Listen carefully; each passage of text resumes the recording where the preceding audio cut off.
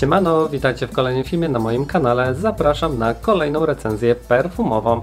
Tym razem zajmiemy się zapachem również arabskim, ale z takim delikatnym podbiciem, można powiedzieć tu europejskim, bądź też po prostu naszych tu zapachów niszowych, dlatego że nie będzie to może taka stricte czysto arabska kompozycja, ponieważ jakby mi ktoś dał do powąchania ten zapach, myślę, że nie do końca bym go skojarzył od razu z klimatami arabskimi. I ten zapach delikatnie kojarzy mi się z dwoma zapachami, które udało mi się już poznać. Także oczywiście też tu już standardowo, jeżeli chcecie wiedzieć z jakimi, to zostańcie ze mną dalej. Ale uważam, że ten zapach zasługuje na to, aby o nim wspomnieć, dlatego że prezentacja tego zapachu bardzo do mnie przemawia, ładnie to wszystko wygląda. No i na początku nie byłem przekonany, ale później właśnie przepadłem, ponieważ im dłużej ten zapach się rozwija, tym lepiej po prostu pachnie i bardziej przypomina mi zapach, który już oczywiście mam.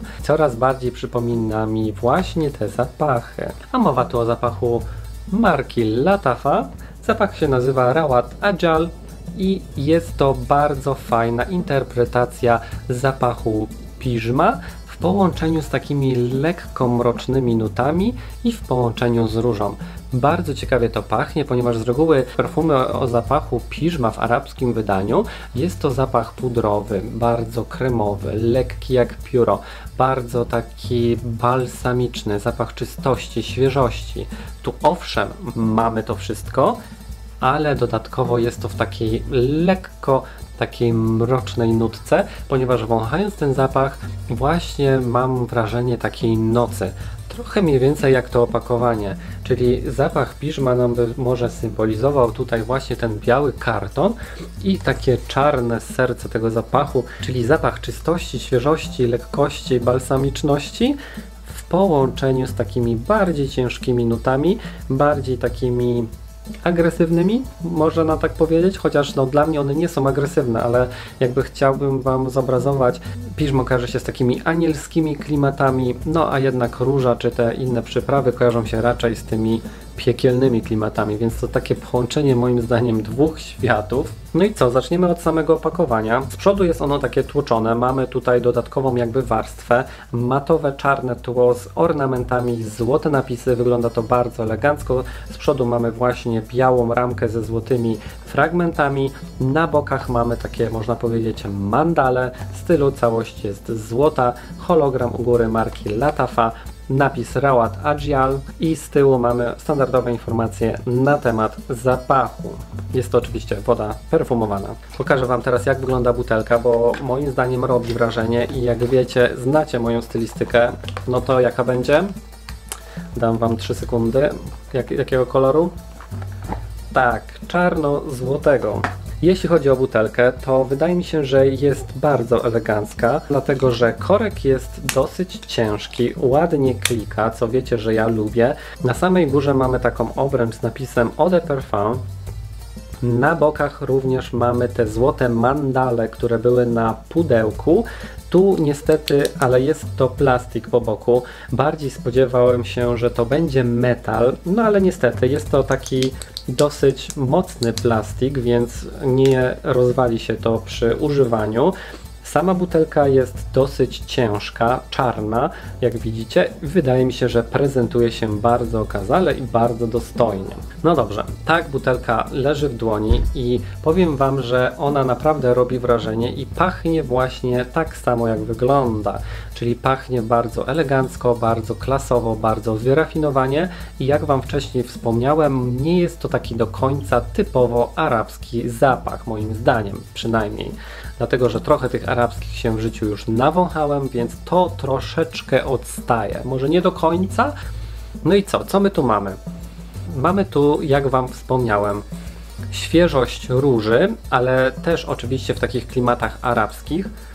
Świeżość, czystość, przejrzystość, powietrzność białego piżma, w tym właśnie takim arabskim wydaniu, lekkość, świeżość, zapach czystości, świeżości połączeniu z przyprawami, różą i troszeczkę właśnie takimi przyprawami, różą to piżmo jest tak fajnie przytłoczone cięższymi składnikami, więc nadal czujemy jego świeżość, czystość, przejrzystość.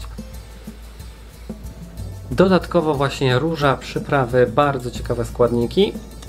No ale co? Przeczytam Wam, co znajduje się w środku i dalej Wam powiem, z jakimi zapachami ten oto zapach mi się kojarzy. No to tak, nuta głowy to róża. Tak jak Wam wspomniałem, jest tu jak najbardziej wyczuwalna, ale powtórzę to jeszcze raz, jest to róża klimatach arabskich. Dlatego bierzcie poprawkę, ponieważ kiedyś pod jednym z filmów dostałem komentarz, że nie jest to w ogóle zapach różany, że to jest zapach bardzo ciężki i tak dalej. Więc teraz już raczej będę Wam tłumaczyć, jeżeli będę mieć na myśli nasz odbiór europejskiej róży, a odbiór róży arabskiej, tak? Żebyście mieli porównanie, że nasza róża jest taka konfiturowa, taka retro, trochę taka bułgarska, jak z ogródka, bardzo taka świeża i orzeźwiająca. Natomiast w krajach arabskich róża ma zupełnie inny wydźwięk, także tu musimy wziąć na to poprawkę. Więc tu mamy różę, która jest z tych róż takich bardziej cięższych, bardziej takich ciemnych, mokrych, jak ja to mówię. W nucie serca znajdziemy szafran oraz tuberozę. Tu również się dzieje, taka delikatna ostrość tego szafranu jest wyczuwalna. Tuberozy, powiem Wam szczerze, ja nie bardzo tu wyczuwam. No i jeśli chodzi o nutę bazy, to znajdziemy bursztyn oraz wspomniane przeze mnie piżmo.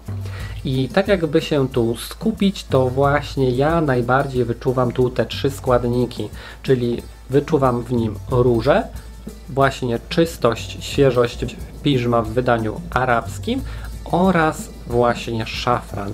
Bardzo ciekawa kompozycja, ponieważ nie jest ona przytłaczająca, nie jest ona mocna, nie jest ona słodka. Bardzo ładny, wyważony, elegancki zapach. Jeżeli lubicie zapach świeżości, czystości, właśnie piżma, a dodatkowo lubicie delikatny sznyt arabskiej róży w połączeniu z szafranem, to myślę, że ten zapach będzie jak najbardziej dla Was. No dobrze, to z jakimi zapachami ten oto gagatek mi się kojarzy? Ano tak, pierwszy z nich to Ajmal, ten oto zapach, dosyć popularny. On ma też trochę takie mroczne podbicie i też czuć trochę takie świeże piżmo. Oraz drugi zapach, z którym mi się on kojarzy, który również jest utrzymany właśnie w takiej stylistyce i coś w tym jest. Jest to marka Alexander J i jest to Black Mask. I ten zapach również jest w takim klimacie zachowany, czyli czystość, świeżość tego piżma w połączeniu z takimi bardziej drapieżnymi nutami. I jakby się uprzeć, to powiem Wam, że to jest takie w 10% Starry Night od Montal, ale bardziej w arabskim klimacie.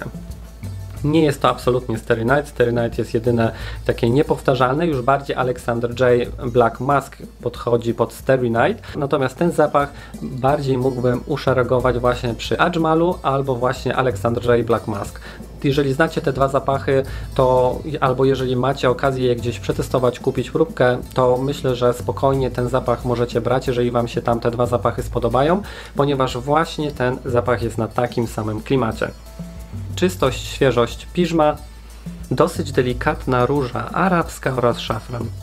Tuberozy tu nie czuję, nut bursztynowych niekoniecznie, także wydaje mi się, że jest to godna pozycja uwagi. Dla kogo zapach?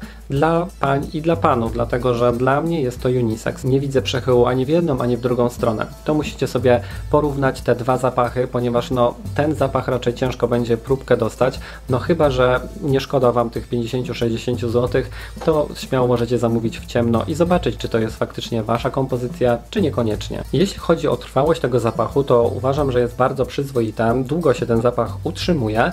Może też jakoś super, mega dużej projekcji nie ma, ale uwierzcie mi, że no jest wyczuwalny. Wiecie, ja mam też spaczony już nos, spaczony węch, mam dużo bardzo ciężkich arabskich zapachów i ogólnie bardzo dużo ciężkich, mocnych kompozycji, więc mój nos już się trochę tak jakby uodpornił, wy, wyrobił na te takie ciężkie wonie, więc na przykład dla jednych Avon będzie bardzo mocny, a dla mnie są po prostu mgiełką do ciała, więc to już jest kwestia właśnie interpretacji i odczuwania zapachu zapachów. Natomiast ja uważam, że ten zapach ładnie projektuje, ładnie się utrzymuje i muszę Wam powiedzieć, że naprawdę roztacza wokół siebie bardzo elegancką aurę. Zapach elegancki, randkowo, wyjściowy bym nawet powiedział. Na co dzień również nie ma problemu, ale myślę, że nawet się spoko nada do pracy, ponieważ mamy tu tą czystość właśnie piżma z różą i szafranem, więc też aż tak mocno nie zabijecie otoczenia.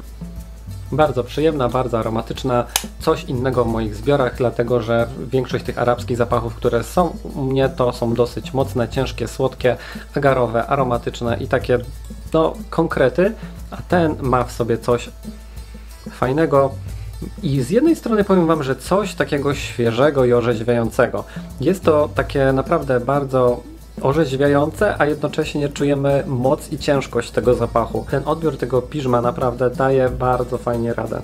No dobrze, moi drodzy, to by było na tyle. Mam nadzieję, że film Wam się spodobał. Dajcie koniecznie znać w komentarzu, czy znacie zapach marki Ajmal oraz marki Alexander J. Black Mask. Jeżeli tak, to napiszcie, jak Wy oceniacie właśnie takie zapachy i kompozycje, gdzie świeżość i czystość piżma została bardziej taka przysypana mrocznymi akordami, takimi bardziej ciemnymi, wieczorowymi. Jeżeli lubicie takie wonie, to dajcie znać, czy z chęcią przetestowalibyście ten oto zapach. No i standardowo, jeżeli film się podobał, to dajemy łapę w górę, klikamy subskrypcję na dole, aby być z moimi filmami na bieżąco. Ja Wam życzę cudownego dnia bądź wieczoru, w zależności od pory, w której to oglądacie i widzimy się w kolejnym filmie. Także na razie i cześć!